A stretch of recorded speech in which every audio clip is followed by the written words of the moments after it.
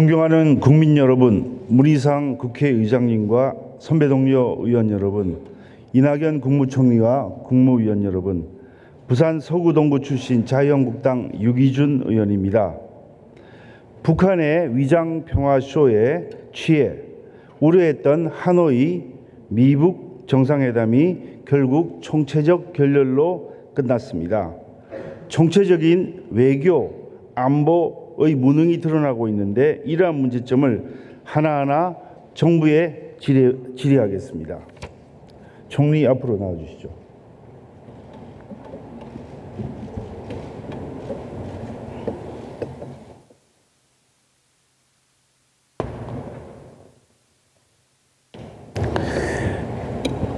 이번 미북 정상회담을 어떻게 평가하십니까?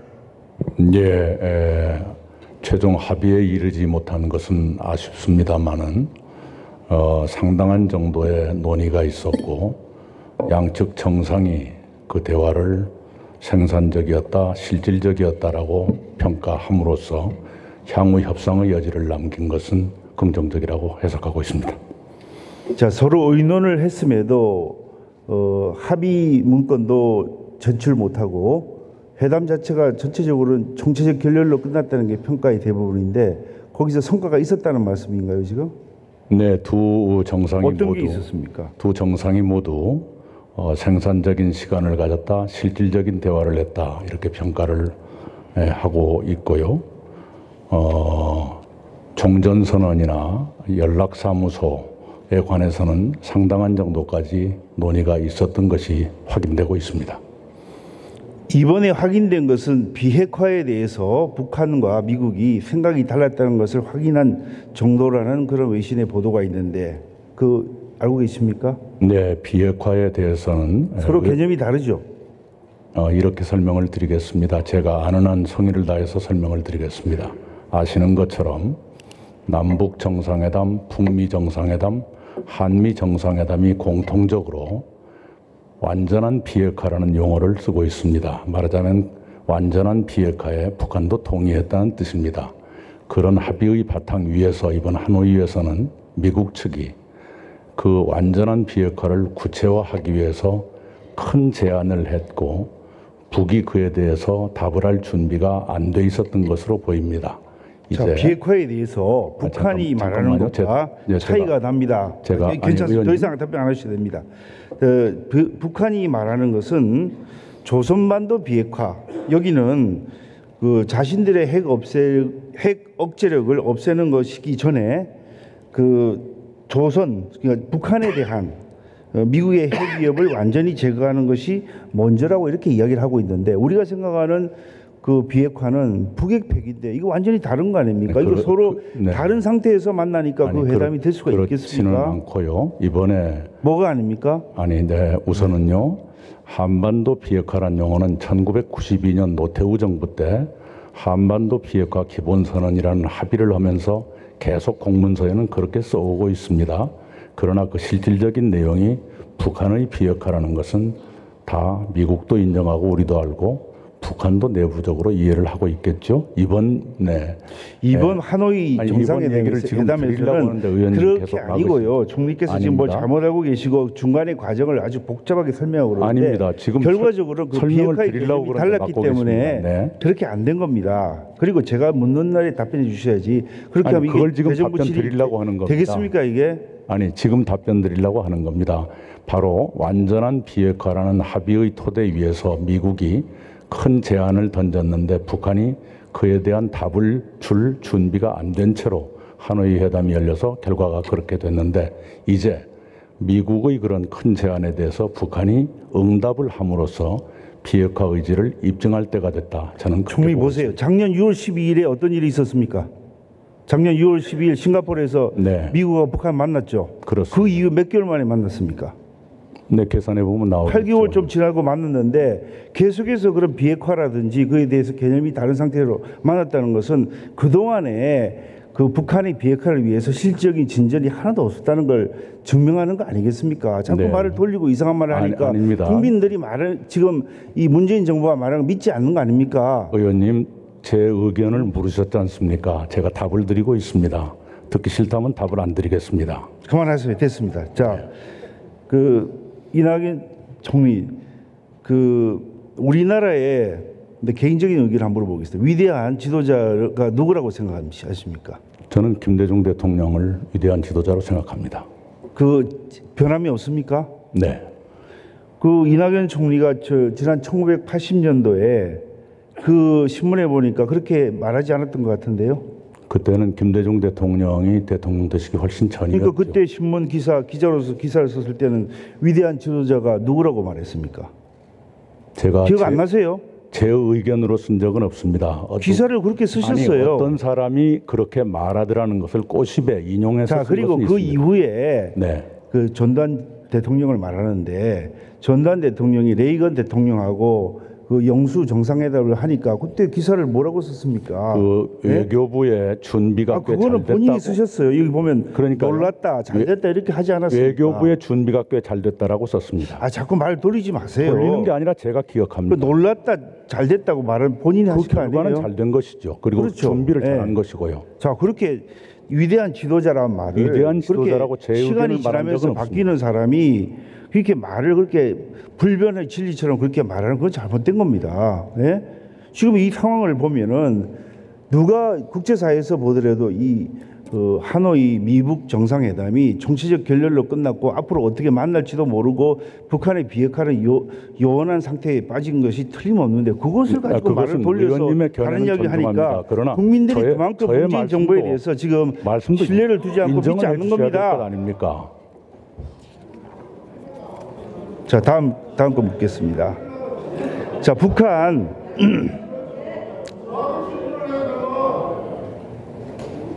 저 조용히 하세요.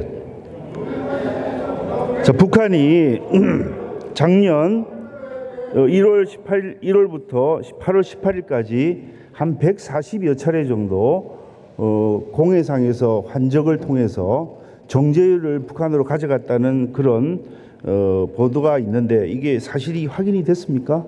네, 제가 보고를 받지 못했습니다만 확인되어 있을? 겁니다. 네, 예, 그렇다고 합니다. 네. 그래서 제가 지금 좀 제시를 할 게 있는데 그 싱가포르 국적의 그 유리 운반선이 우리 그 울산에서 어, 다섯 차례에 걸쳐서 어, 재작년부터 작년 7월까지 어, 다섯 차례에 걸쳐서 대략 한 50만 톤의 정제유를 싣고 나갔습니다. 일회에 걸쳐서 10만 톤씩. 근데 그 싣고 나간 배가 어, 재상 국적석인 육퉁호라는 선박하고 접선해 가지고 그 기름을 다시 옮기고 그 육퉁호가 다시 북한 국적의 선박 어, 예성강호하고 접선하는 이런 장면들이 각각 포착이 됐습니다. 이게 뭐 일시는 그 연속으로 되는 게 아니, 아니고 또 예성강호하고 만난 거는 작년 1월이고 그 육퉁호와 오션 익스플로러호가 만난 거는 작년 10월이고 그래서 좀 일시 차이는 납니다만은 좀 추론을 해보면 우리나라에서 만든 정제유를 그 재상국적선이 싣고 가서 공해상에서 만나서 선박끼리 접선해서 시- 실어서 북한에 주고 이렇게 할 수 있는 추론을 충분히 할 수 있는 근거가 있는데 이에 대해서 총리가 알고 계십니까? 네, 그래서 확인을 좀저 보고를 받아야 되겠고요. 어, 이 문제에 관해서는 예, 작년부터 의원님께서 어, 많은 문제를 제기하셔서 관세청이 법에 따른 처분을 쭉 해온 것으로 알고 있습니다. 그리고 세계에서 이런 문제로 어, 해당되는 선박에 대해서 제재를 가한다든가 그런 나라는 한국밖에 없는 것으로 압니다. 다른 나라도 했습니다. 다른 나라도 저 있습니까? 잘 모르셔서 그러는데 네. 그 제가 조금 이따 묻겠습니다만은 북한 어, 석탄을 싣고 어, 왔다고 추정되는 그런 선박을 인도네시아에서 억류한 적도 있고 그래서 네, 네. 우리나라만 그렇게 한 게 아니 아닙니다. 작년 작년 기준입니다. 이게 한참 문제가 되었을 때 그때의 자료를 보면 예, 한국이 유일하게 처벌을 했던 것으로 나와 있습니다. 자, 그 다음에 지난번에 그 개성 그 유엔 이번에 그 제재에 대해서 어, 패널 보고서 네. 보셨습니까? 네, 개성공단에 우리나라가 그 갖다 준그 네. 남북 연락 사무소에 관련돼서 어, 유지를 위해서 갖다 준 그 정제유가 있죠. 네. 대략 얼마쯤 되죠? 어, 340톤쯤 됩니다. 예, 그 전부는 아니고요. 다섯 가지인가 그 중에 하나였던 것으로 기억을 합니다. 근데 이게 그 당시에 이제 제가 이제 우리 상임위에서 어, 조명근 통일부 장관 또 강경화 외교부 장관에게 우리가 저 물어봤는데 그때 이게 대북 제재 개성에 갖다 두고 연락사무소에서 쓴다 하더라도 대북 제재에 위반되지 않는다. 이렇게 이런 취지로 답변을 했습니다. 근데 이번에 유엔 패널 보고서에 보면은 뭐라고 돼 있냐면 정제유가 그 북한으로 간 경우에는 그게 현재 누가 소유하고 있건 점유하고 있건 가리지 않고 영토 개념으로 해서 북한으로 갔기 때문에 이것은 유엔 제재 위반이다 이렇게 판단하고 있습니다. 어? 위반이다라고 판정한 것은 아니고요. 판정했습니다. note라고 되어 있죠. 그 부분을 보시면은 아, 여러 가지 위반 봤습니다. 사례 중에 하나로 아니요. 이것을 말하고 있습니다. 네, 그 어, 전문가 패널 보고서에는 그 어느 것도 한국에 대해서 제재 위반이라고 판정한 것은 없습니다. 자, 단지 2397 의원님 지금 호- 말씀하신 것에 대해서는 노트 뭐 유의한달까 아, 주목한다. 그러니까 그렇게 자꾸 억지 해석을 아니 하고 억지가 아니라 사실이지 않습니까? 총리 잘 들으세요. 그렇게 이상한 해석을 하고 아니, 이상이 아니라 그 원문을 소리를 하니까. 자꾸 우리 정부가 아니, 사실을 말씀드리는 겁니다. 내고 딴 이야기를 한다 그러는 거 아닙니까? 그 보도가 보세요. 제가 다시 한번 분명히 읽어드릴게요. 말씀드립니다. 보세요. 네. 2397조의 제5를 보면 회원국은 북한으로 모든 정유 제품 이전을 대북 제재 위에 보호해 보호해야 된다. 이는 소유가 아니 소유가 아닌 영토 기준이다. 그렇기 때문에 영토로 갔으면 보호를 해야 되는데 보호를 안 했기 때문에 위반이라고 한 겁니다. 그것을 노트한다고 되어 있습니다. note를 왜 합니까? 그게 그 결국 위반이라는 걸 적시한 거 아닙니까? 위반을 판정하는 데가 아니고요. 위반 판정은 한, 건- 한 건도 없었습니다. note한다고 되어 억지해서 있고요. 가지 마세요. 그러니까 자꾸 정부의 설명도 이상한 말들을 하고 그러는 거 아닙니까? 사실을 말씀드리는 겁니다. 자, 그다음에 최근에 또 이런 일이 있었습니다. 아까 제가 말씀드린 대로 북한산 석탄을 싣고 그 인도네시아에 서- 선박이 왔었습니다. 그 배 이름은 Wise Honest라는 그런 선박인데 어, 대략 한 2만 6천 톤에 어, 가격은 300만 달러 정도 되는 그런 그 석탄을 싣고 인도네시아 왔는데 인도네시아 당국에서 그 선박과 석탄을 압류를 했습니다. 근데 이때 어떤 일이 있었냐면 이 석탄을 대상으로 홍콩에 있는 회사가 우리나라에 있는 회사에게 이 어, 석탄을 파는 매매 계약을 체결하고 또 그 우리나라 그 고향에 있는 회사입니다. 이름이 에너맥스라는 회사인데 그 회사에 근무하는 사람이라고 하면서 물품 대금도 지급했고 그랬으니까 이 석탄을 다른 선박에 실어서 포항으로 가져와라 이렇게 이야기까지 했거든요. 근데 이에 대해서 조사를 한 적이 있습니까? 제가 확인해 보겠습니다만은 음. 이건 법대로 처리할 것입니다.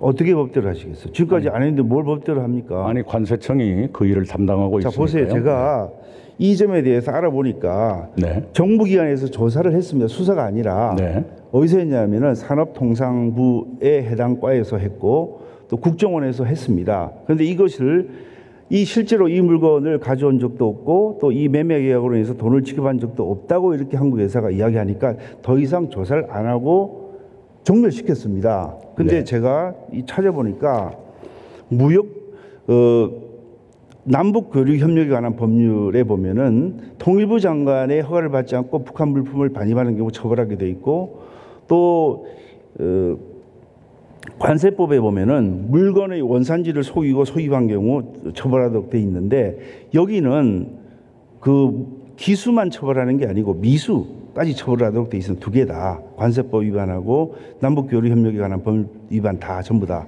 그래서 이게 매매 계약을 체결하고 물건 그 대금을 지급하고 그 석탄을 실으라 이렇게 정도 했다면 이거는 이미 실행에 착수한 거 아니겠습니까? 네, 그런데 이에 법대로- 대해서 법대로 하도록 왜 하겠습니다. 그러면 관세청이나 검찰에서 왜 수사를 안 했습니까? 뭐 일부러 안 했으리라고 생각하지 미리 않습니다. 지시를 해서 이거 아니, 필요 없이 네, 수사하지 마라 이렇게 하신 거 아니에요? 거듭, 거듭 말 그럴 리가 있겠습니까? 그럴 리가 없습니까? 네, 법대로 할 겁니다. 이게 발생한 지 언, 발생한 게 언제인지 아세요? 제가 확인해 보겠습니다. 이거 이게 법대로 해야 이, 돼. 이 사례가 지금 네. 유엔에 그 판, 패널 보고서에 지금 나와 있습니다. 이 사례가 네, 나와 있는데도 버젓이 그 국가기관에서 그 수사도 아닌 조사만 해가지고 이 사람들에게 면죄부를 주고 더 이상 문제 없다고 이게 지금 끝냈단 말입니다. 제가 확인해 보겠습니다. 저는 그럴 리 없다고 믿습니다. 수사 수사를 할 겁니까? 아, 물론입니다. 법대로 하겠습니다. 법대로 하시겠습니까? 네, 네.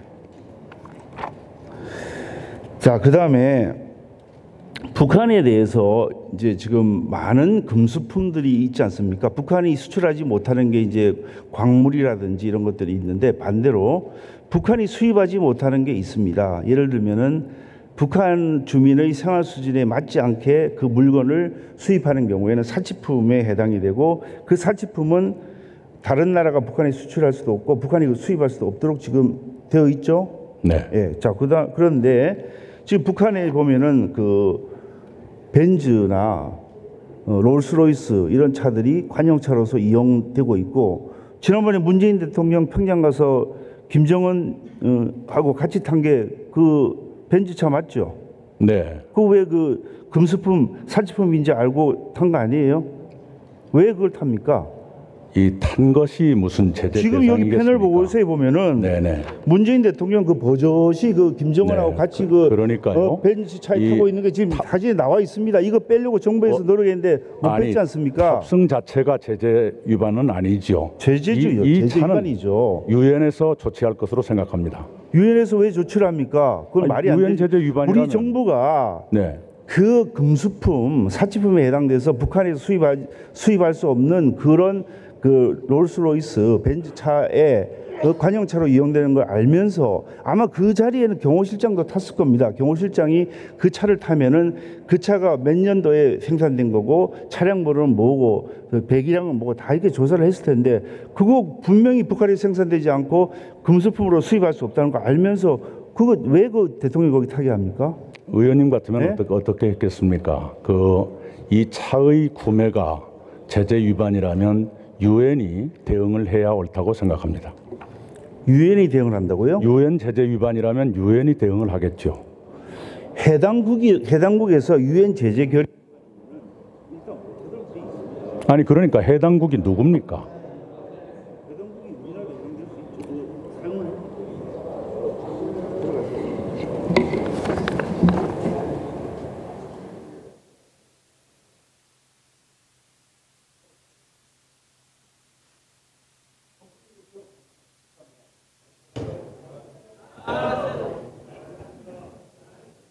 유기전 의원님 수고하셨습니다.